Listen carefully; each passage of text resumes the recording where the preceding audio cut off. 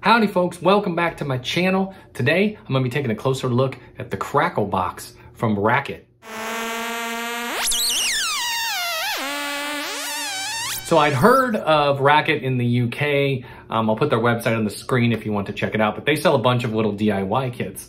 And you know I love DIY, so I purchased this kit. And I did a time-lapse video of me building it. I'll go ahead and put that on the screen for you. But um, the kit was very well organized, very well laid out. The instructions are on their website so you can follow along. And uh, it's really quite simple. Um, this is an interesting build because it's all analog and there is no ICs, no microcontroller, no anything like that. There's just a bunch of transistors. So what you do is you put in your capacitors and uh, then your resistors and then there's a whole bunch of transistors and that's how you uh, basically put the circuit together.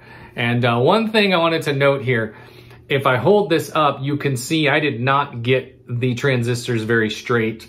But if you look at them this way, here, let me do it this. They're pretty straight this way. Um, but the reason was is because when I soldered those, I sort of set them all in there and I put my finger like this and then soldered and I was holding them in place this way, but not, you know, side to side. So they look kind of funny when you look at them like this, but that's okay. I mean, it still works perfectly fine. Um, but if I was to do it again, I would probably use a piece of tape or something to hold those in place so they'd look a little nicer. But anyway, you solder all that in place and then it's got this little speaker on the bottom, which as you can probably guess, does not sound all that great.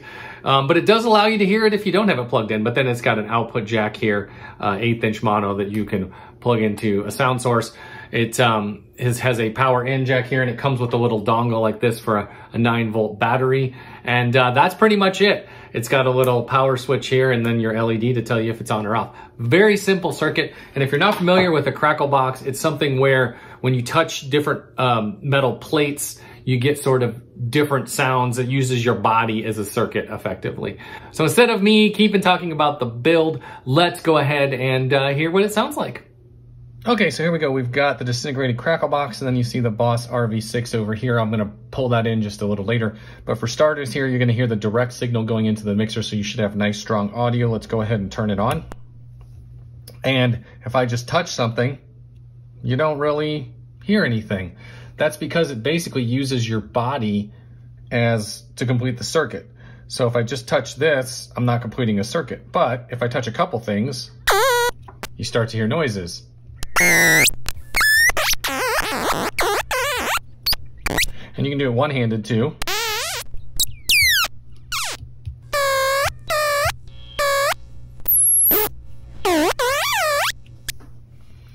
But I think it works a little better with two.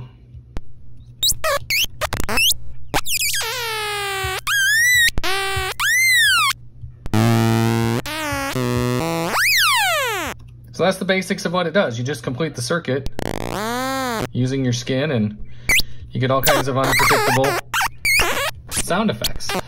So I thought it might be kind of cool to feed it through a reverb pedal here and see what kind of effects we can get out of it. So we've got a bunch of different uh, modes here. Let's try um, delay verb mode. I'm gonna go ahead and kick that on.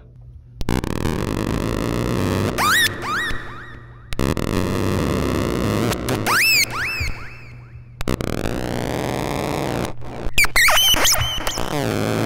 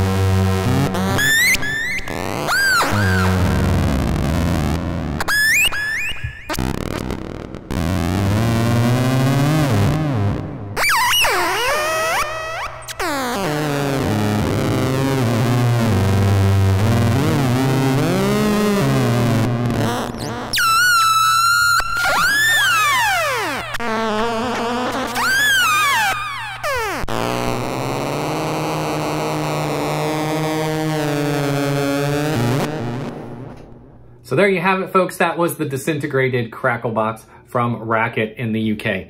I mean, honestly, ease of build and documentation, I would definitely score this very high. Um, really fun little build, really well designed. Is it that musically useful? I don't know, depends on what you're doing. If you like glitch and sound effects, it's gonna be very useful to you. If you're trying to make like melodies, then it's probably not what you're looking for. But uh, that said, it's a really fun kit. It goes together very quickly. Um, it's great for a beginner. So if you like this video, I'd really appreciate it if you'd give it a thumbs up for me. And if you like what I do on this channel, that'd be great if you could hit that subscribe button. Really helps out the channel. So um, thank you for tuning in. This is Kale for Musical Miscellany. I'll see you guys soon.